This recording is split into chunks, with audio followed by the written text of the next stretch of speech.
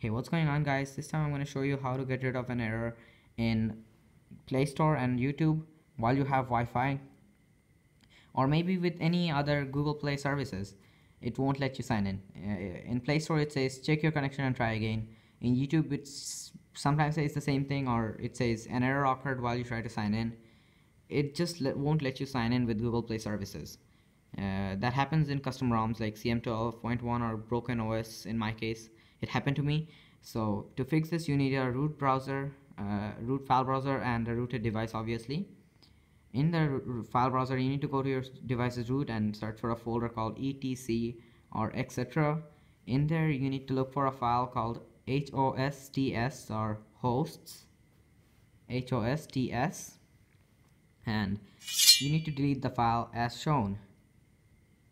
Once you delete this file you should be all good to go as I show you right now. Once you deleted the file, everything should work just fine. Uh, like uh, in my case, the YouTube uh, Play Store is working, and also YouTube is gonna work in a second. And if I helped you, please uh, hit that like button.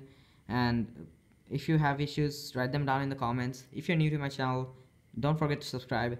And I'll see you on the next one. See, YouTube is working as I said.